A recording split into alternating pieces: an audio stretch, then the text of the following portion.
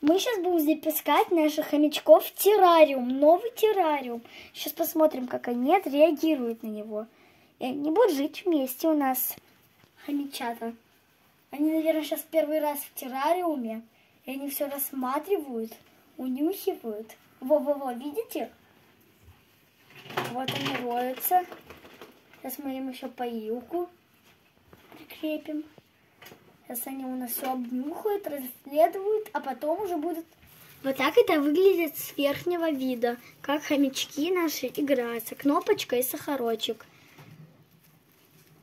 Вот таким все образом и происходит. Кто-то умывается, сейчас сидит, кто-то вон на траве. В руках, смотри, что.